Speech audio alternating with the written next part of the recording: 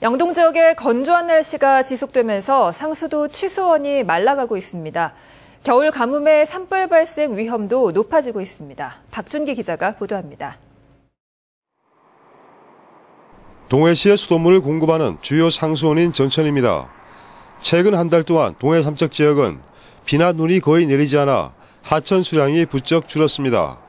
이원 칩상 주변은 하천이 바닥을 드러낸 채 물이 흐르지 않는 건천으로 변했습니다. 지난달부터 이달 현재까지 동해 지역 누적 강수량은 4.2mm에 불과해 전천 치수량이 계속 감소하고 있습니다.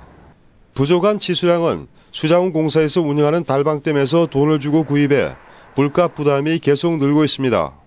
달방댐 용수를 일일 약 3,000톤 정도 현재 구입하고 있으며 겨울 가뭄이 계속되면 달방댐 용수 공급량을 점차 늘릴 계획입니다.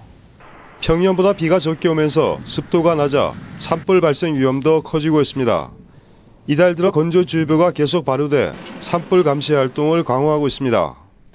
요즘은 건조한 날씨로 도로변 주변에 담배불로 인하여도 산불이 날 수 있는 관계로 밤 12시까지 산불 근무를 하고 있습니다.